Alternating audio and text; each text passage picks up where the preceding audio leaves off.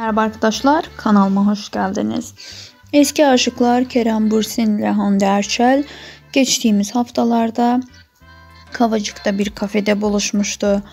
İkilinin hayranları tarafından görüntülenmelerinin ardından barıştıkları iddiaları medyada yer almaya başlamıştı.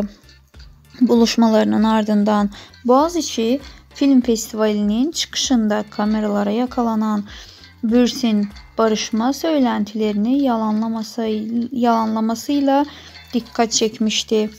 Yaşananların ardından bebekte ortaya çıkan Erçel ise konuyla ilgili ilk kez açıklama yaparak merak edilen soruları cevaplamıştı.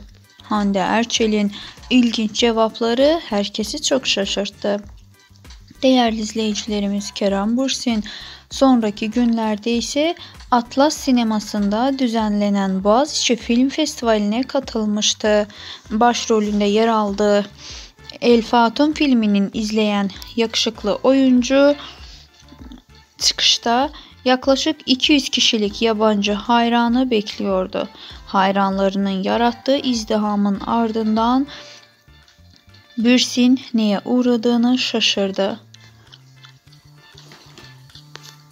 Değerli izleyicilerimiz Kerem Bürsin ve Hande Erçel hayranları ikilinin bir an önce barışıp dünya evine girmesini bekliyordu.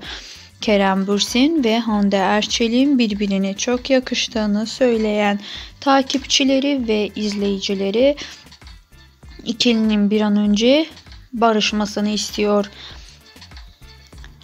Kerem Bürsin görüntülendiği yerlerden Hande Erçel ile ilgili hiçbir açıklama ve yanıt vermeden uzaklaşıyordu. Bu da takipçilerini çok üzmüştü.